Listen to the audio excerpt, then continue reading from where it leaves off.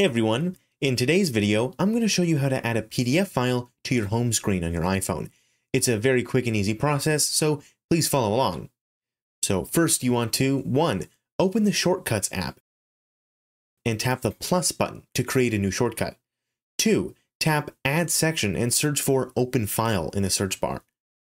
3. Select Open File from the search results. 4. Tap Default App and choose the Files app. 5. Tap the left side File option and select your desired PDF file. 6. Once selected, rename the shortcut to match your PDF file's name. 7. Tap the play button to test if the shortcut works.